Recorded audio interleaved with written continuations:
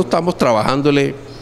con todo, Pedro, con todo el optimismo del caso, no hemos, no hemos dejado ninguna variable sin hacer. Nosotros, como, como lo he dicho, confiamos en la administración municipal y sabemos que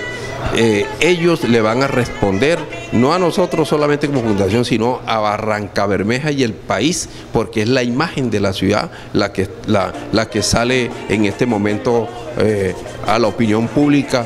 dependiendo de cómo nos vaya, con el favor de Dios nos va bien, estoy seguro que vamos a tener una, la ciudad con una buena imagen que tanto la necesitamos después de tantos problemas que hemos tenido y además es un evento donde va a traer personas de nueve departamentos más el distrito de, de Bogotá, de manera que son personas que vienen a demandar servicios aquí y, y repito, es un, es un evento que de verdad hoy más que nunca lo necesitamos.